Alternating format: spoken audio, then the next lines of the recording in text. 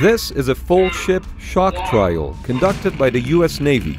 The point of these trials is to see how the ship handles underwater explosions, giving sailors a better understanding of how the ship will hold up in battle. Specifically, full ship shock trials make the hull vibrate so that you can see how the installed equipment functions to ensure the ship can continue to fight.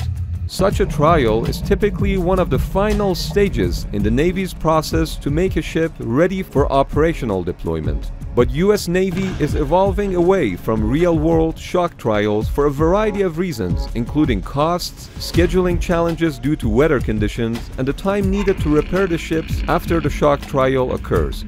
Instead, computer models are being used in order to identify vulnerabilities. But in the meantime, the real-world data collected from the shock trials will continue to feed the computer models in order to make them more reliable.